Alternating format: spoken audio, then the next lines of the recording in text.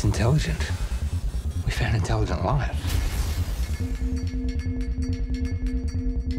You kept this from me. It's not a race. It is a race. No one's going to care if we come second.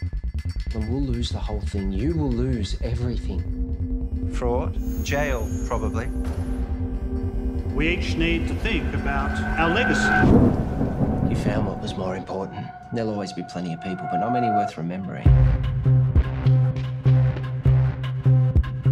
Moment, we have control over how this story gets shared.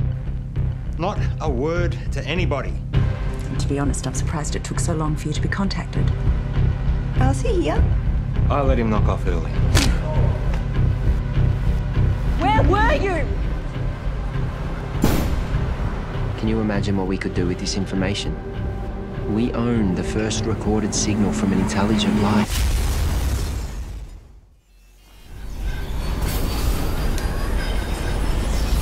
On the 3rd of June, I received a signal from space.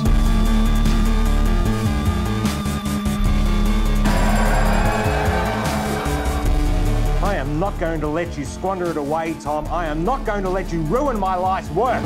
We're not renewing your contract. Need this I to hate work. to say it, I did warn you about this last year.